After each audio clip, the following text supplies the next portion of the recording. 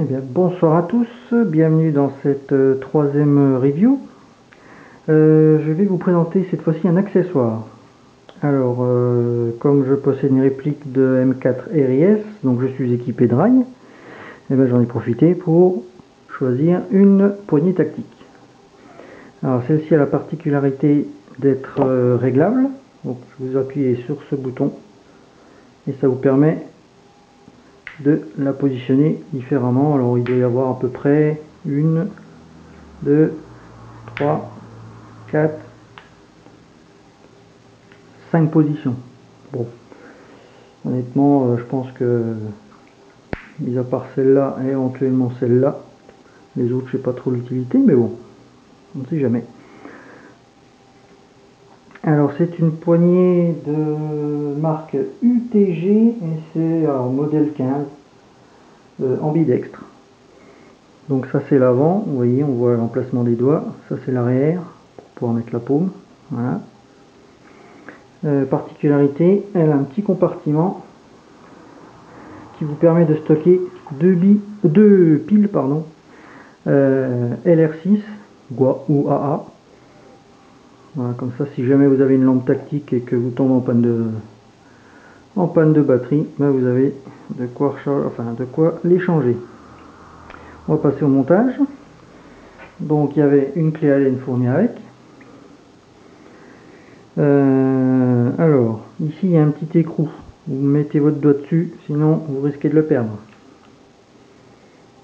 Vous dévissez. Vous retirez le boulon.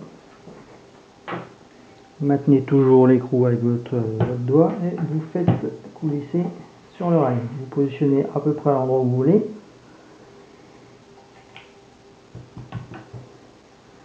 Alors si jamais ça rentre pas euh, c'est que vous n'êtes pas en face du rail. Vous faites coulisser jusqu'à ce que ça rentre. Une fois que c'est rentré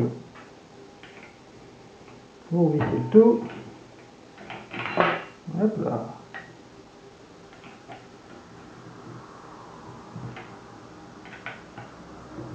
A priori c'est bien serré. Et voilà, vous êtes fin prêt.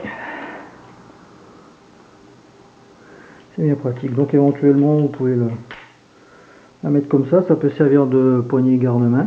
Voilà. Éventuellement peut-être euh, la mettre comme ça, mais avec le chargeur, je suis pas sûr ce que ça donne. attendez, on va regarder.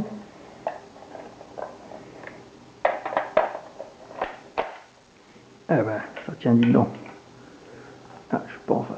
Voilà. Voilà, un petit accessoire bien sympathique. Qui toutefois n'est pas donné parce que je l'ai eu à 37 euros. À mon avis, vous pouvez trouver euh, très certainement moins cher sur le net. Euh, pas réglables, hein, à la limite euh, ça suffit. Bon voilà, je suis tombé dessus, c'était le seul modèle disponible, je me suis dit je la prends, je la prends quand même, tant pis. Euh, donc voilà, sur ce je vous souhaite une bonne soirée et que l'airsoft soit avec vous. A plus